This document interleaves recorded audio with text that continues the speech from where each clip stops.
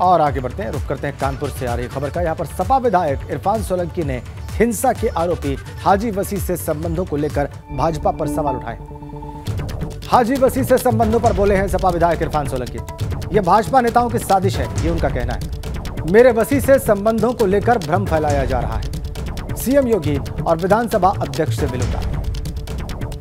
इरफान सोलंकी का कहना है, समाजवादी पार्टी के विधायक हैं। अपनी बातों और तथ्यों को उनके सामने ज़रूर रखूँगा, ये भी उनका कहना है। हाजी वसी से संबंधों को लेकर सपा विधायक इरफान सोलंकी ने सफ़ाई दी है। हाजी वसी से कारोबार को लेकर पार्टनरशिप की थी, ये भी उन्होंने कबूल किया है। फंडिंग में आरोपी हाजी वसी से मेरे पुराने ताल्लुकात हैं। मैंने हाजी वसी की कंपनी में पत्नी नसीम को पार्टनर बनाया था। 2013 में बनाई गई फर्म से 2018 में घाटे के चलते पत्नी ने इस्तीफा दे दिया। खुद विधायक होने के कारण पत्नी को हेमराज कंस्ट्रक्शन कंपनी में पार्टनर बनाया था। फर्म का 20 फ़ीसदी का शेयर चाचा मिराज को ट्रांसफ़र कर दिया। तीन जून की हिंसा से मेरा कोई भी लेना देना नहीं है। ये तमाम बयान हैं इरफान सोलंकी के, जो कि समाजवादी पार्टी के विधायक हैं।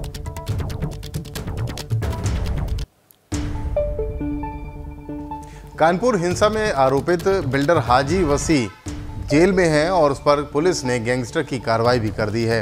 इस बीच समाजवादी पार्टी के चर्चित विधायक इरफान सोलंकी के साथ हाजी वसी के संबंध निकल कर के सामने आए हैं। इरफान सोलंकी हमारे साथ उनसे बात कर लेते हैं। इरफान भाई आपके किस तरह के संबंध हाजी वसी के साथ हैं? हज़ार तेरह में हमने एक फर्म बनाई जिसमें हम पाँच लोग पार्टनर बने। हाजी वसी साहब थे, वसीम रायदर साहब थे, हमारे चाचा थे, एक और लोग थे और हमारी धर्मपत्नी थी।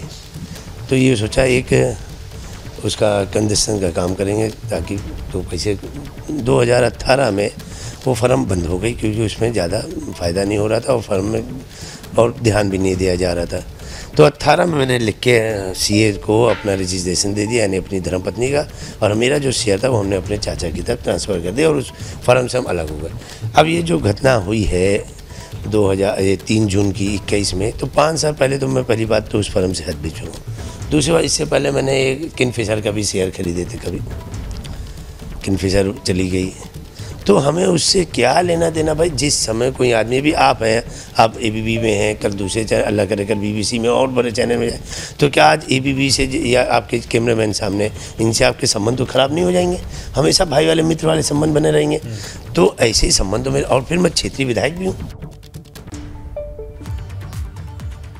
इरफान सोलंकी के बयान का मुख्य हिस्सा हमने आपको दिखाया। अगली बड़ी खबर बरली से है।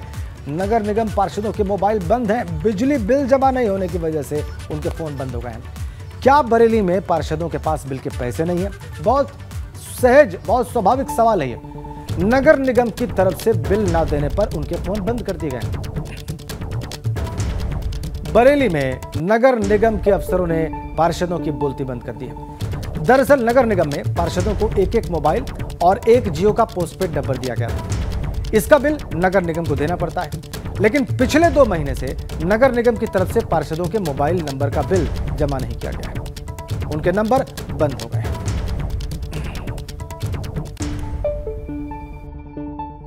मोबाइल बंद हो गए हैं। अभी नगर निगम में थोड़ा बजट की दिक्कत तो है।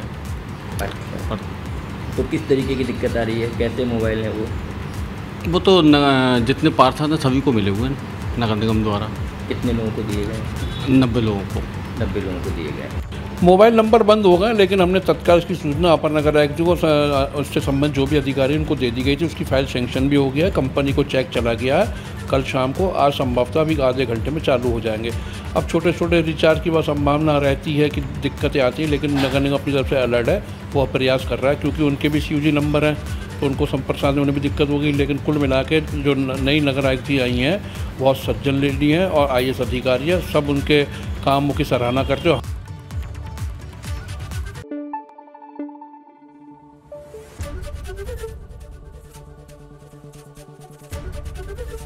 एबीपी गंगा, खबर आपकी, जुबा आपकी।